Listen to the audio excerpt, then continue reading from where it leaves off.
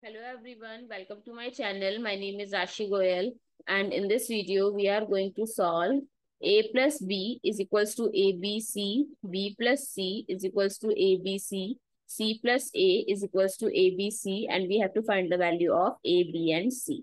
So let's start with the today's video solution. So first I'm considering this as equation number 1, this as 2 and this as equation number 3. So in the first step, I'm going to subtract equation number 2 from first. So first equation is a plus b minus b plus c is equals to abc minus abc.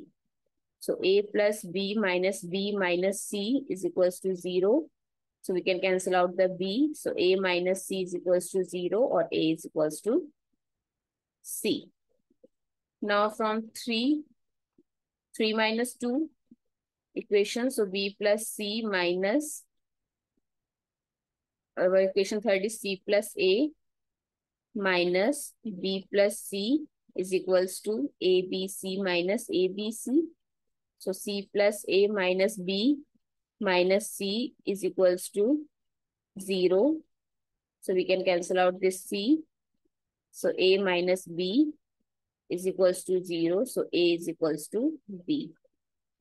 So as we check, A is equals to C and A is equals to B also. So A is equals to B and also is equals to C. So A, B, C all are equal to each other.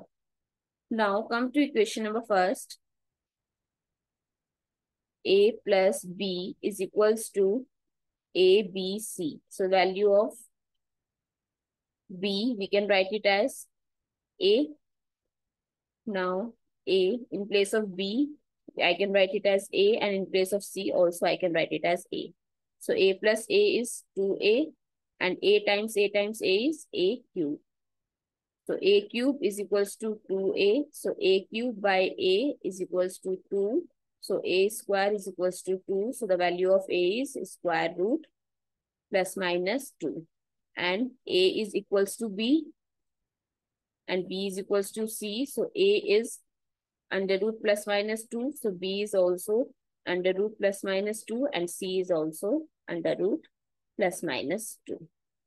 So these are the values of A, B and C. I hope it's clear and you find it useful. So please give us a thumbs up and do subscribe to my channel. Stay tuned.